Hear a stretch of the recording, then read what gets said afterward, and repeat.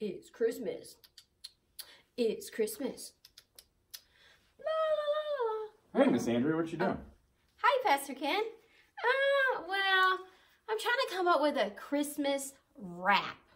Christmas rap. Yeah, I mean, we started this new theme in kids' church today, and it's called Christmas rap. So I thought I would write the kids a Christmas rap. Whoa, whoa, whoa, whoa. Not rap as in like a rap song, R-A-P. It's Christmas wrap, like wrapping paper. Like you're wrapping a oh, present. Oh, oh my goodness. I thought it was a rap. Well, by the way, what are you doing, Pastor Ken?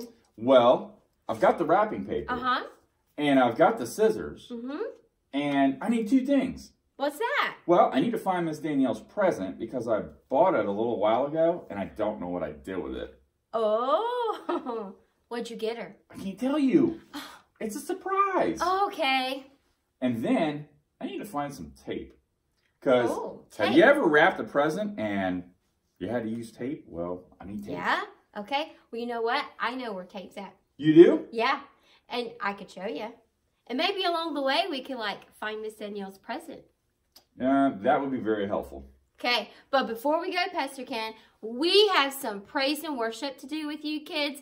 And it's Christmas time and we're so excited. So get up on your feet and let's worship worship Jesus. All right, let's do it.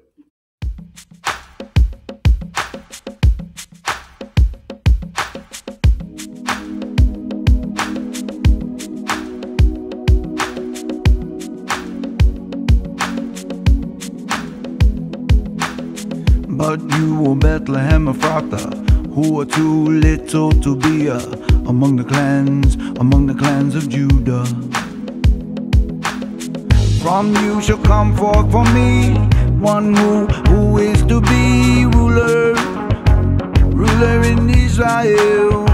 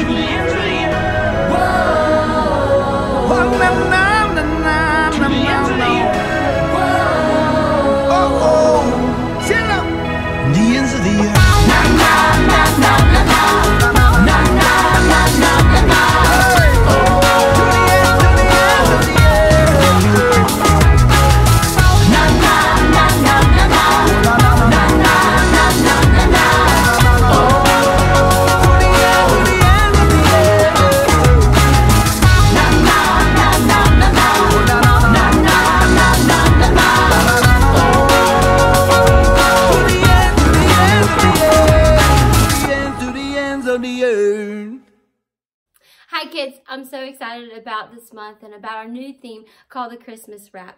This whole month we're going to learn about the Christmas story and how it's wrapped around the birth of Jesus. You know, there's so many songs that we can sing throughout this month to celebrate Christmas. There's songs about reindeer and there's songs about snowmen. There's even songs about that big old jolly guy with a white beard. But did you know there's songs that celebrate Jesus and his birth? There's songs about the manger, and there's songs about that silent night when he was born. You know, Mary, she's Jesus' mom. When she found out that she was going to have a baby, that she was going to have Jesus, she sung a song. She was so excited. Well, the angel Gabriel appeared to Mary and told Mary that she was going to have a baby that she was going to have Jesus. And after that, Mary went to see her cousin Elizabeth, and when she did, she sung a song. In Luke chapter 1, verse 46 through 47, it says, My soul magnifies the Lord, and my spirit rejoices in God my Savior. That was the song that Mary sung. She was glorifying God that she was chosen to have Jesus. Jesus was going to be her son. And God had a purpose for Mary, and God has a purpose for you and for I.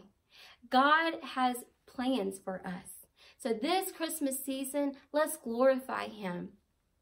And one way we can do that is by singing songs to praise him. So this week, I want to encourage you to find someone in your family that will sing a Christmas song with you. Pick a song that would glorify Jesus. Until next time, I hope you have a great week.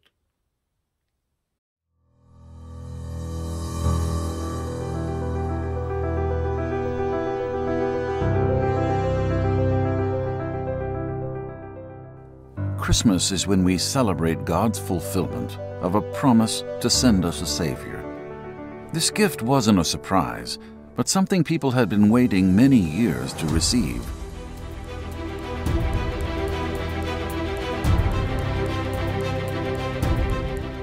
The promise of Christmas began with a man named Abraham. God promised Abraham that he would have a descendant, and that this descendant would be a blessing to all the nations. When the Apostle Matthew wrote the story of Jesus' life, he said that Jesus was the son of Abraham.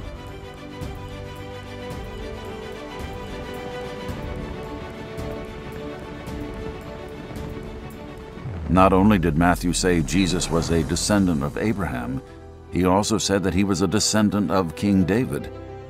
Many years before Jesus' birth, the prophet Isaiah promised that Jesus would reign on David's throne. However, unlike any king or other political leader, Jesus would rule with justice and righteousness forever. The prophet Micah foretold that Jesus would be born in the small town of Bethlehem.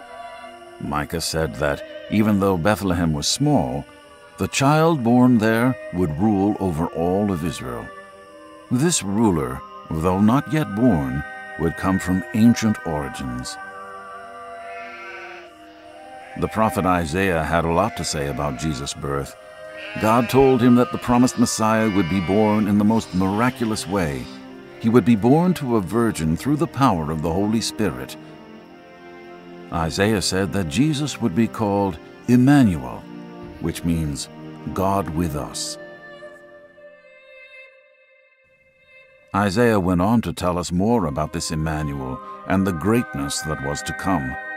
The Savior would be called Wonderful Counselor, the source of all wisdom, Mighty God, the Creator of all things, Everlasting Father, the source of all life, and Prince of Peace, the one who will make all things right.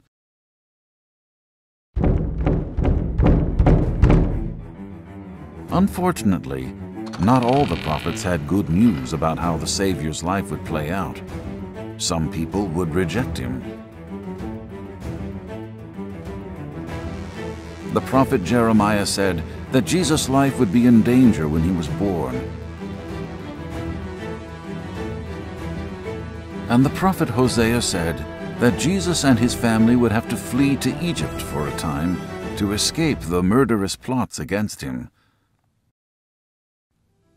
Jesus' birth and life fulfilled all of these prophecies, as well as the most incredible one of all. The prophet Isaiah said that Jesus would be a servant who would suffer for the sins of the world. He would give his life so that anyone who believes in him could be saved from sin. At Christmas, we celebrate the promised gift of salvation given to us by God through the sacrifice of his Son, Jesus Christ.